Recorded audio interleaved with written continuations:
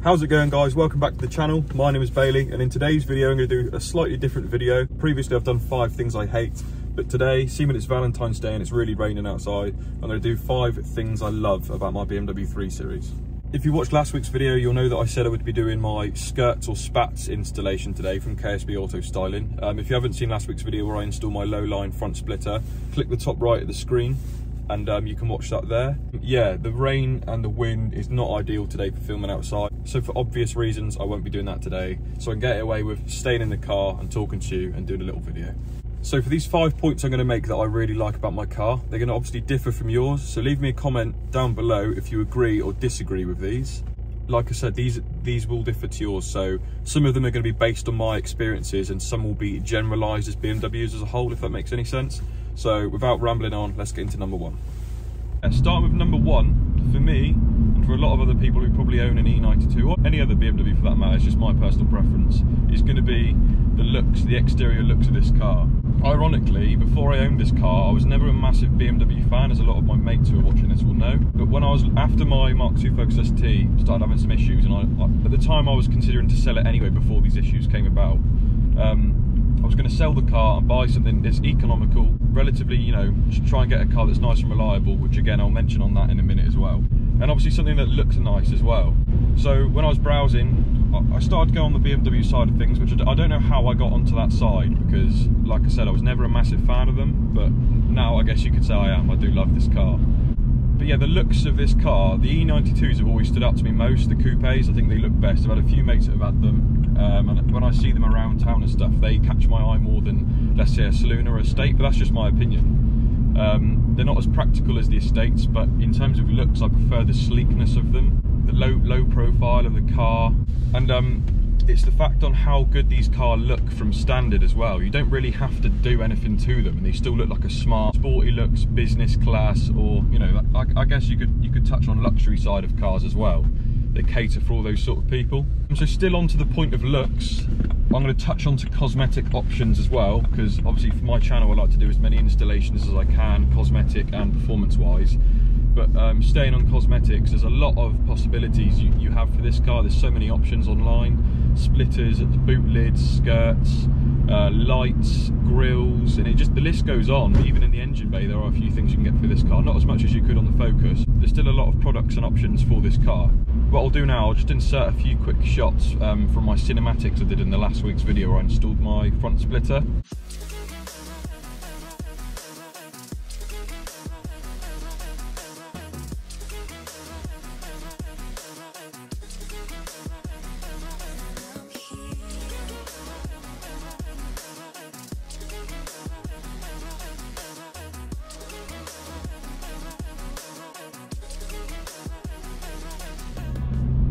So as you can see, the car does look nice. I Personally, I've got a thing for black cars as well. Once they're washed and they've got a nice amount of uh, cosmetics to complement all the angles and the shapes of the car, they look really aggressive in me. Right then, so moving on to number two, I'm going to be talking about the interior design luxury. I guess you could say the interior looks of the car. As much as the outside of a car could look nice, I feel like the inside has to be just as nice to complement it. There's nothing worse than having a really nice outside, but you get in and it's all bland and boring. It's not really a nice place to be it's nice to appreciate the car from when you're inside it just as much as looking at it from the outside. So please excuse the muddy car that needs a wash, uh, Hoover rather. What BMW do really well is they don't really cheap out on interior materials or exterior for that matter. It's all um, nice soft touch material. It's all got some sort of nice design on it. And the fact that they use genuine, I, I, I guess it's aluminium, but it's, it's real metal. It's really cold to the touch and it's all textured. It sets off the car really nicely. Um, obviously some car manufacturers i'm going to refer back to ford they do cheap out a little bit. I guess you could say a, really good example is the mark iii focus rs everyone really really lo loves the car it's got a lot of potential but in my opinion when you're sat in the car i've not sat in one but from what, what i've seen it looks like you're in a transit van a high spec transit van. Um, i'm not even trying to take the piss it sort of does. Because it's all kind of if you watch videos of people on the inside of the car, because it's, it's, a car I've considered before, you, you touch it and it's all creaking, it's all kind of moving around, makes some weird noises and it doesn't look too nice. But the interior design of this car is set up really nicely. All the contour lines contrasted well with the different shades of metal and it just looks really tidy.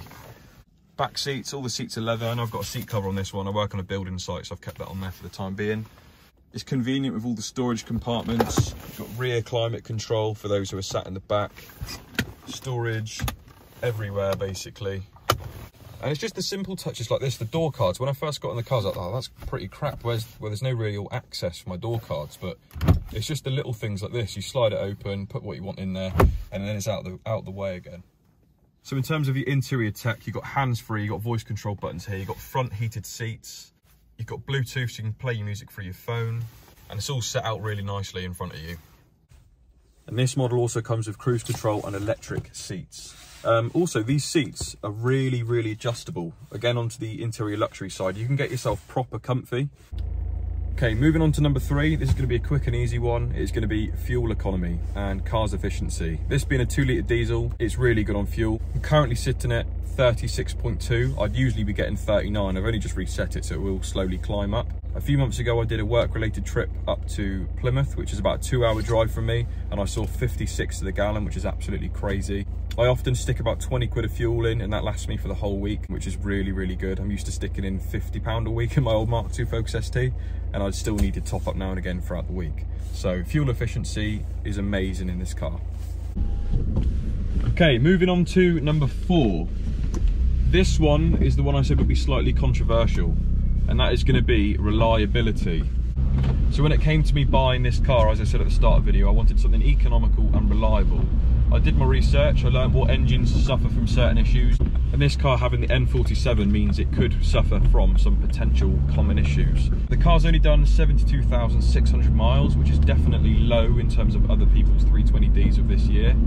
Uh, I think this car is 10 years old but as of yet this is going to be my my experiences i have had no issues whatsoever at all literally nothing at all nothing wrong with it um, i'm going to consider doing the swirl flap delete however i'm considering buying without giving too much away and considering buying another bmw in a few months time possibly which is going to be on the sporty side of things let's just say that i've had this car for about when did i get this car i think i got this car in september or october it might even be november around is it getting into the winter months, I, I got this car and nothing at all. I love this car. It has been so reliable for me. Starts first time every morning. No rattles, no squeaks, nothing at all. I'm in a lot of the Facebook pages and unfortunately I see every day people have got some bad issues, some that require a lot of money to sort out, some that require not so much money to sort out. So I count myself lucky at the minute, touch wood, this car stays reliable until I choose to get rid of it. So moving on to number five, my fifth and final point of today's video is going to be the build quality of the car, which this speaks for, I guess you could say, all BMW models or the majority of BMW models. I'm sure there's some BMWs out there that people say the build quality is lacking compared to other models. But from my experience in this car, the build quality is absolutely brilliant. Again, comparing to my previous Ford, I know I keep doing that, but obviously it was my previous car, so it's a good comparison for me and for anyone watching at home who obviously a lot of people a lot of my subscribers are going to be ford fans um, and i know some of them are now bmw fans so this is kind of valid towards those people. This car being on 72,000 miles is the exact same as what my st was pretty much before i sold it. I think my st was on 70,000 miles. So if i compare the interior rattles and squeaks and panels all moving around this has nothing whereas my mark ii focus st would rattle like crazy but in the ST's defence, I did stick a ridiculous Section 18 turbo back exhaust system on it, which caused a lot of resonance and caused a lot of panels to slightly move due to vibration of the exhaust tone. But even before that exhaust was fitted, you'd push panels and you'd hear them like creaking and things would move, but this is all solid. All the stitching looks good. Um, I guess you could say that's build quality in a sense, detail quality. Another one that's important to me, sound is really important to me in the car. So in terms of build quality of the speaker setup, if you have this at quite a high volume, not to the point of distortion obviously, I'm not trying to do anything stupid, you often hear door cards rattling and the speakers farting after a while. My ST slightly started to do that, as well as my previous cars before that, but this, no issues at all with the speakers yet. It sounds crystal clear, nothing's rattling, um, it sounds like the faces of the speakers are still all intact, none of the glue is separated yet. which frequently happens in cars over the years. So this BMW being an M Sport, it's going to come with the M Sport brake, suspension and anti-roll bars, so it gives it that tight feeling, and it, it really does feel tight. I have to admit, this car around bends and general driving does feel much, to be honest with you, it feels a lot sportier in terms of how it feels planted on the road compared to my standard Focus ST. I'm going to emphasise the fact of standard because I never lowered my car. I didn't put any sort of uprated uh, drop links, anti-roll bars or suspension on it. So I'm sure if I did, I would be saying this differently. I'd probably say the ST felt better with aftermarket parts. But as of a standard car, this being M Sport again, this feels much more tight and the quality is much nicer on the road, in my opinion. So still on build quality, I'm going to mention rust, especially the underside of the car. Fords are really known to rust pretty bad. Um, a good example is the Mark III Focus RS. I'm in a few forums because I considered buying one and people are saying theirs are already really, really rusty from the underside and there might only be a 17 plate, which isn't too great. I suppose BMW take a little bit more care or have a bigger budget to supply better protective materials and coats on the underside of cars before they leave the factory. Whereas this car, without, I guess I can't really show you right now because it's pissing it down, but just take my word for it, this car is really, really clean underneath. There's literally no rust at all, apart from some under tray bolts, which clearly aren't stainless steel. And my last point on build quality is gonna be seats. Often in cars I've had before, whether it's my own car, work car, you go around a corner and you can feel the seats, they have a little bit of play in them now, and they squeak like crazy. After 70k in this car, I've got no issues at all. Let me know, are you on like 100,000 miles? Are yours starting to squeak yet, or are yours still good?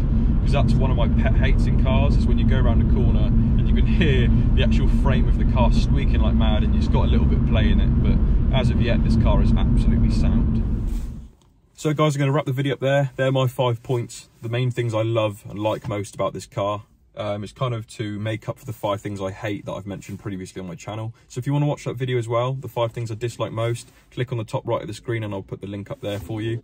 So leave me a comment down below. Do you love these just as much as I do? Or is there anything else you prefer more than the points I've made today? Or do you disagree on some of the points I've made today? Once again, I apologise it's not an install video today. As I said, it probably would be. As you can see, the weather outside is really, really bad. So I didn't really want to be out on my back fixing uh, skirts or anything to the car today. But fingers crossed, next week it's going to be nicer so I can do it on that weekend.